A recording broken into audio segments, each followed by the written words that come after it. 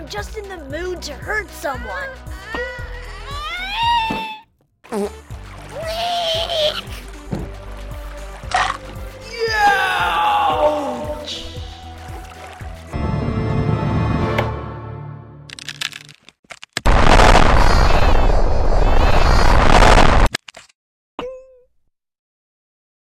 Pen, pencil, and firing.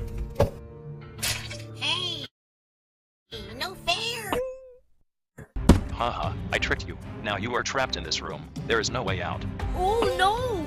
Does that mean we'll starve to death in here? Anyway, since there was no voting last time, there's no cake at stake, so we can get right to the contest. Quiet, you. Well, you're not so quiet. it's a tightrope. Eh, I, I have a fear of heights.